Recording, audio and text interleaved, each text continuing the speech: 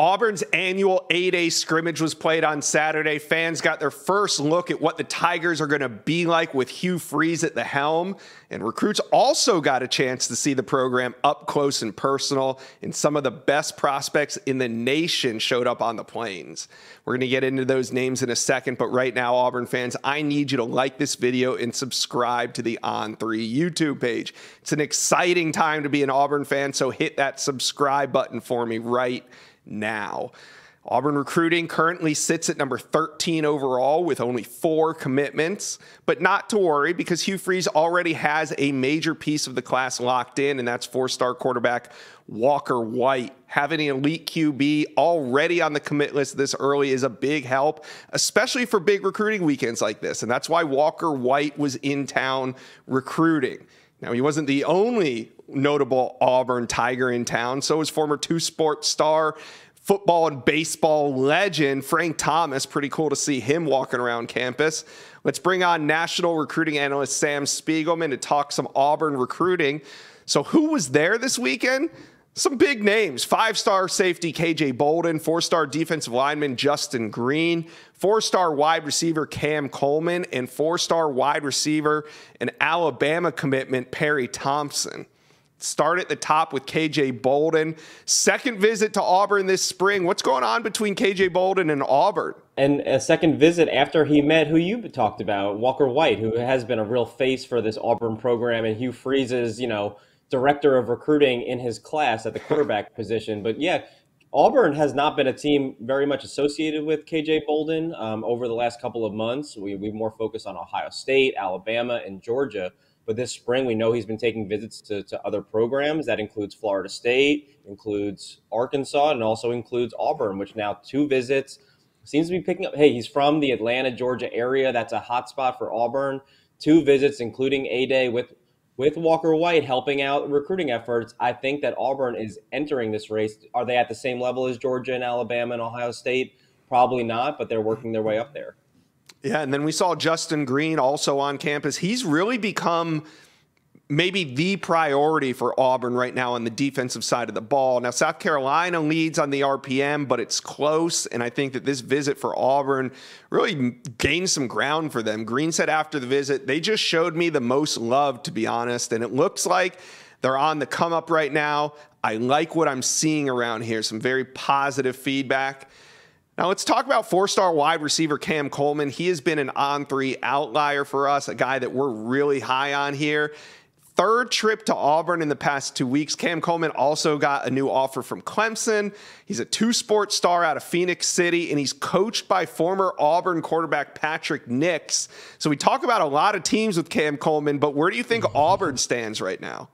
Yeah, they're they're at the top, top two, top three, maybe. It's it's a very elite short list for Cam Coleman. We know that Clemson is in the mix. We know that Auburn is very much in the mix.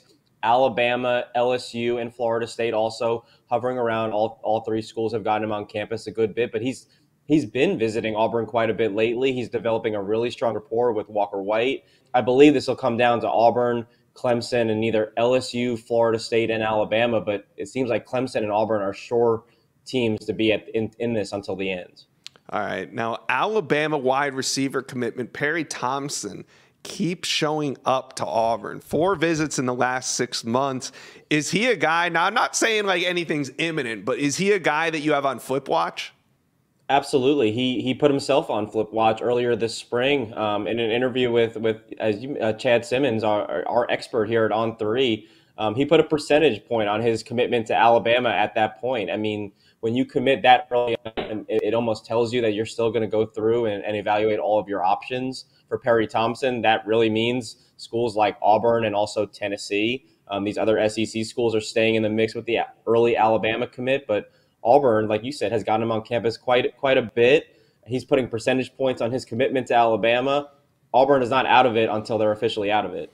Yeah, and I'll give you another name to put on flip watch. Again, not saying it's imminent, but Alabama linebacker commit Sterling Dixon, 6'2, 205 out of the Mobile area. He's been to Auburn a couple times, and he was at Alabama just last weekend, and even then said Auburn sitting at a solid number two. So while I don't necessarily expect anything to happen in the short term, these are two high profile Alabama commitments that are still kind of considering Auburn. So that's interesting. Uh, like I said, Auburn sits at number 13 overall. So, Sam, what are your realistic expectations for the Tigers recruiting this cycle? It's been almost three cycles now where Auburn has failed to get back of, of top 10 recruiting class. And I think what we're seeing with Hugh Freeze back at the helm and the staff that he's assembled there in the plains, they are not messing around any longer. They are not going to, you know, settle for a top 15 or a top 20 class. This is the Auburn Tigers. They expect to be recruiting top 10 classes. Um, and I think if you starting with Walker White and the targets that they have, look at those targets that we're talking about.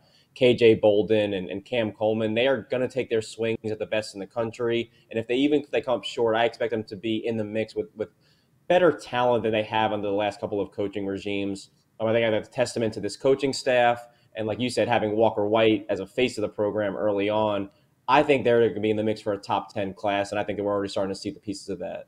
Yeah, I think that they can realistically sneak into the maybe the bottom two spots, nine or 10. I think they could finish with the top 10 class in Hugh Freeze's first year, which, you know, they're not going to be great on the football field just yet. It's going to take them a little bit of time to turn over that roster and really improve on the field. But in year one, I do agree with you. I think that Auburn could realistically land a top 10 class. All right, Sam, thanks for joining us today on the Inside Scoop.